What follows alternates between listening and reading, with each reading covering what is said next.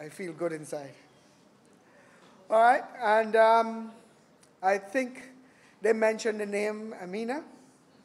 And at this point, I would uh, like to mention that Ameena Caesar is a past uh, alumni or alumni of uh, JA.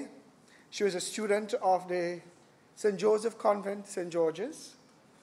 And uh, between the years 2007 to 2008, she was part of that uh, junior achievement group.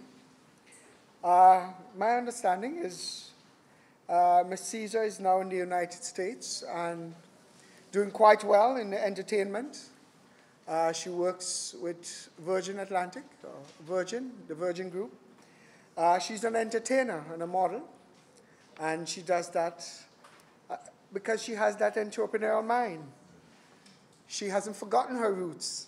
And today we want to recognize the president, the, past, the, the president of the year for uh, the last uh, JAS season, uh, Mr. Wesley Simon, see here, from the Presentation Brothers College.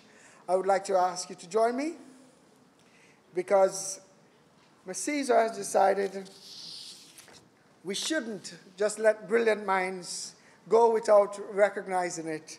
And so we have a presentation here today uh, of a check, and I would invite Mr. Bernard Antoine to present to you a check as President of the Year 2016-2017.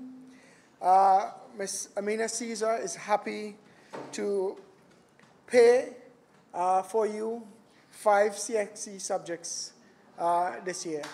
So, folks,